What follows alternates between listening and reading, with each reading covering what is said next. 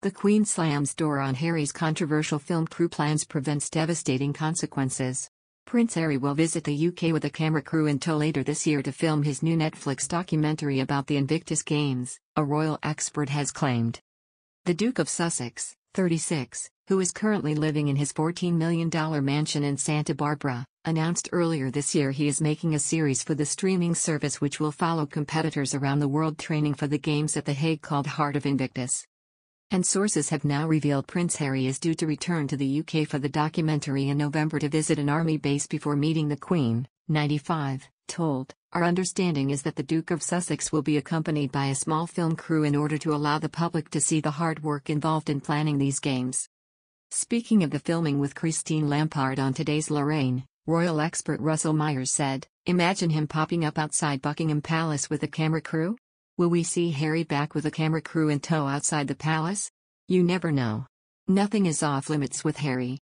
It has been reported Prince Harry would fly from California to the UK to film the upcoming documentary. Sources said he would take a film crew employed by Archewell Productions to visit participants at Stanford Hall, the Army's rehabilitation center for wounded soldiers.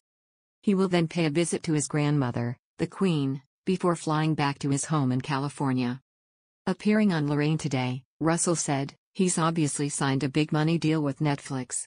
One of these documentary ideas that he came up with was having a camera crew create a documentary about the Invictus Games, the fantastic sports event which he created in 2013 which have gone on to be a huge success. It's a fantastic initiative for injured servicemen and women of getting out with the power of sports and a global phenomenon.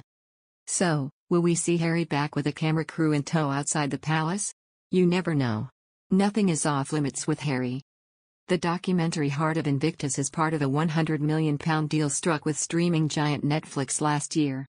It will be directed by a British documentary Orlando von Einsiedel, whose team won an Academy Award for their short film The White Helmets and a BAFTA for Virunga another documentary, set in the Congo's Virunga National Park. A source said, the Duke of Sussex will want to make sure we are ready as the last games were cancelled because of COVID. We are hoping that the situation in April next year allows the games to go ahead as planned, in Holland. But some royal experts have warned that nothing is off limits with the Duke, who could try to film the private meeting. Royal expert Russell Myers told Lorraine, Imagine him popping up outside Buckingham Palace with a camera crew? Will we see Harry back with a camera crew in tow outside the palace? You never know. Nothing is off limits with Harry. He's obviously signed a big money deal with Netflix. One of these documentary ideas that he came up with was having a camera crew create a documentary about the Invictus Games, the fantastic sports event which he created in 2013 which have gone on to be a huge success. It's a fantastic initiative for injured servicemen and women of getting out with the power of sports and a global phenomenon. Harry will be appearing on camera for the doc, as well as being an executive producer, working with Orlando von Einsiedel.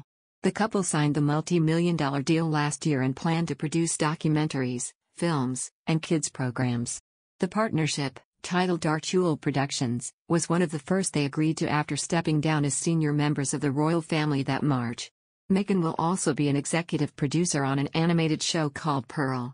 The news comes as sources also claim that Meghan and Kate have been getting along well and have even offered the Duchess of Cambridge her own Netflix stock. Harry previously explained the Netflix and Spotify deals in his bombshell Oprah interview by saying, My family literally cut me off financially, and I had to afford security for us.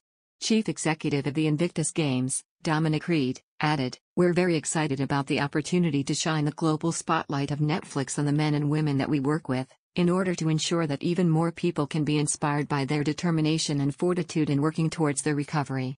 This partnership will also bring in significant funding to the charity.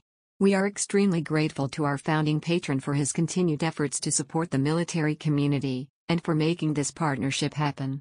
The Invictus Games is a biannual sporting event created by Prince Harry for injured military personnel. Founded in 2014, the sporting event sees wounded, Injured or sick armed services personnel and veterans compete in nine sports.